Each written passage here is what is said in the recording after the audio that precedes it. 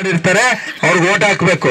ಬಾಯಲ್ಲಿ ಅಣ್ಣ ಅಂತೇಳಿ ಹೇಳಿ ಕೊನೆಗೆ ಓಟ್ ಹಾಕ್ಬೇಕಾದ್ರೆ ನಾವು ಬಿಜೆಪಿ ಓಟ್ ಹಾಕಲ್ಲ ಅಂತೇಳಿ ಹೇಳಿದ್ರೆ, ಕೆಲಸ ಮಾಡಿರೋರ್ಗೆ ಉರ್ಕೊಳುತ್ತೆ ಉರಿ ಎತ್ತುತ್ತೆ. ಏನ್ ಹೇಳಿ?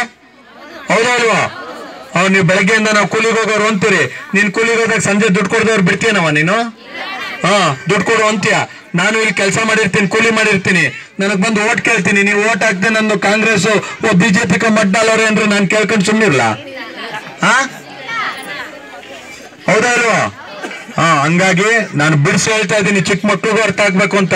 ನೀವು ಇರೋರೆಲ್ಲರೂ ದೊಡ್ಡವರು, ಓಟ್ ಹಾಕೋರು ಪ್ರಾಮಾಣಿಕವಾಗಿ ಹೇಳ್ತಿದ್ದೀನಿ ನಾನು ಮನಸ್ಪೂರ್ವಕವಾಗಿ ನಮ್ಮ ಮುಸಲ್ಮಾನ್ ಸಹೋದರನ್ನ ನಮ್ಮ ಸಹೋದರ ರೀತಿಯಲ್ಲಿ ಪ್ರಾಮಾಣಿಕವಾಗಿ ಪ್ರೀತಿಯಿಂದ ಕಾಣ್ತಾ ಇದ್ದೀನಿ. ಮುಂದೆನೂ ಕಾಣ್ತೀನಿ. ಆದ್ರೆ ಕೆಲಸ ಮಾಡಿದಂತ ಸಂದರ್ಭದಲ್ಲಿ ನೀವೇನಾದ್ರೂ ನಮಗೆ ಸಹಾಯ ಮಾಡ್ಲಿಲ್ಲ ಅಂದ್ರೆ ಇವ್ರಿಗೆ ಎಷ್ಟು ಕೆಲಸ ಮಾಡಿದ್ರು ಇಷ್ಟೇಪ್ಪ ನಮ್ಮ ಮನೆ ಬರ ಬದಲಾಗಲ್ಲ ಅಂತ ಹೇಳಿ ಹೇಳಿ ಈ ಕಡೆ ತಿರುಗಿ ನೋಡಬಾರ್ದು ಅನ್ನೋ ತೀರ್ಮಾನಕ್ಕೆ ಬಂದ್ಬಿಡ್ತೀವಿ. ಆ ತೀರ್ಮಾನಕ್ಕೆ ಬರ್ದೇ ಇರೋ ತರ ನೋಡ್ಕೊಳ್ಳೋದು ನಿಮ್ ಜವಾಬ್ದಾರಿ. ಮೂರ್ ಸಲ ನನಗೆ ಕೈ ಕೊಟ್ಟಿದ್ದೀರಿ. ನನ್ನ ಎಂ ಎಲ್ ಎ ಚುನಾವಣೆಯಲ್ಲಿ ಓಟ್ ಹಾಕಿಲ್ಲ. ಕೌನ್ಸಿಲರ್ ಚುನಾವಣೆಯಲ್ಲಿ ಓಟ್ ಹಾಕಿಲ್ಲ ಎಂ ಪಿ ಚುನಾವಣೆಯಲ್ಲಿ ಓಟ್ ಹಾಕಿಲ್ಲ. ಈಗ ಮತ್ತೆ ಐದು ವರ್ಷ ಆದ್ಮೇಲೆ ನನ್ನ ಚುನಾವಣೆ ಬರುತ್ತೀನಿ ಆರು ತಿಂಗಳಿಗೆ. ಆ ಸಂದರ್ಭದಲ್ಲೂ ನೀವೇನಾದ್ರೂ ಕೈ ಕೊಟ್ರೆ ನಾನು ಕೈಯು ಕೊಡ್ತೀನಿ, ಕಾಲು ಕೊಡ್ತೀನಿ, ಏಟಿಗೆ ಸಿಗೋದಿಲ್ಲ. ಅರ್ಥ ಆಗ್ತಿದ್ಯಾ?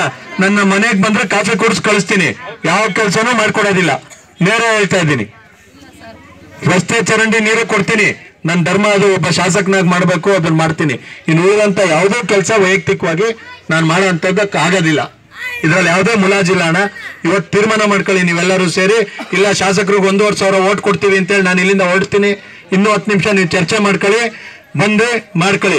ಯಾರೋ ದಳದವ್ರು ಬರ್ತಾರೆ ಕಾಂಗ್ರೆಸ್ ಅವ್ರು ಬರ್ತಾರೆ ಅಂತ ಅವ್ರು ಬಂದಾಗೆಲ್ಲ ಅವ್ರ ಹಿಂದೆ ಸುಮ್ಮನೆ ಬಂದಿದ್ವಿ, ಅವ್ರ ಜೊತೆ ಒಂದು ಪ್ರೊಸೆಷನ್ ಹೋದ್ವಿ ಸುಮ್ ಬಂದ್ರೆ ಅವ್ರ ಹಿಂದೆ ಹೋಗಿ ಓಟ್ ಕೇಳ್ಕೊ ಬಂದ್ವಿ ಅಂತ ಹೇಳಿ ಹೇಳ್ಬಿಟ್ರೆ ನನಗೂ ಜನ ಇರ್ತಾರೆ ಇಲ್ಲಿ ಇರೋಂಥವ್ರು. ಯಾರು ಬಂದಾಗ ಏರಿಯಾಗೆ ಬಂದು ಅವ್ರಿಗೆ ಮಾಡ್ಬೇಡಿ, ನಾನು ಇದೆಲ್ಲ ಮಾಡ್ಕೊಡ್ತೀನಿ ಅಂತಾರೆ. ಮಾಡ್ಕೊಡ್ತೀನಿ ಅಂತ ಹೇಳೋರ್ ಮನೆಯಲ್ಲಿ ಮೂರು ಸಲ ಮುಖ್ಯಮಂತ್ರಿ ಆಗಿದ್ರು. ಏನ್ ಹೇಳಿ ಮೂರ್ ಸಲ ದೊಡ್ಡಗೌಡರು ಒಂದ್ಸಲಿ ಮುಖ್ಯಮಂತ್ರಿ ಆಗಿದ್ರು, ಕುಮಾರಣ್ಣ ಎರಡ್ ಸಲ ಮುಖ್ಯಮಂತ್ರಿ ಆಗಿದ್ರು. ರೇವಣ್ಣ ಅವ್ರು ನಾಲ್ಕು ಸಲ ಮಂತ್ರಿ ಆಗಿದ್ರು. ಯಾವತ್ತಾರು ಶ್ರೀನಗರಕ್ಕೆ ಬಂದವ್ರ? ನೋಡಿದ್ರ ಅವ್ರ ಮುಖನ? ಈಗ ಬರ್ತಾರೆ, ರೆಡಿಯಾಗಿ. ಬಂದಾಗ ಏನ್ ಹೇಳ್ಬೇಕು ಅದನ್ನ ಹೇಳ್ಬಿಟ್ಟು ಕಳ್ಸಕ್ ಯೋಚನೆ ಮಾಡ್ಕೊಂಡಿರಿ. ಅರ್ಥ ಆಗ್ತಿದೆ ನಾನು ಹೇಳ್ತಿರೋದು? ನಾನು ಎಂ ಎಲ್ ಎ ಆಗಿ ಆಗಿರೋದು ಬರೀ ನಾಲ್ಕು ವರ್ಷ. ನಾಲ್ಕು ವರ್ಷದಲ್ಲಿ ನಿಮಗೆ ಎಲ್ಲದನ್ನು ರೆಡಿ ಮಾಡಿದ್ದೀನಿ. ಇದನ್ನ ಮಾಡ್ಬೇಕೋ ಬೇಡ ಅಂತ ಕೇಳಕ್ ಬಂದಿದ್ದೀನಿ.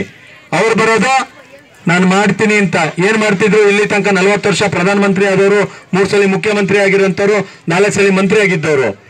ಈಗ ಬಂದಂತ ಸಂದರ್ಭದಲ್ಲಿ ಅವ್ರು ಬಂದಾಗ, ಏ, ಅದ್ ಮಾಡ್ಕೊಡ್ತಾರೆ, ಇದ್ ಮಾಡ್ಕೊಡ್ತಾರೆ ಅಂದ್ರೆ ಅವ್ರಿಗೆ ಯಾವ ಅಧಿಕಾರನೂ ಇಲ್ಲ. ಶಾಸಕ, ನಾನು ಮುನ್ಸಿಪಾಲಿಟಿ ಅಧ್ಯಕ್ಷ ಮೋಹನಣ್ಣ, ಮುಖ್ಯಮಂತ್ರಿ ಬೊಮ್ಮಾಯಿ ಅವರು, ಪ್ರಧಾನಮಂತ್ರಿ ನರೇಂದ್ರ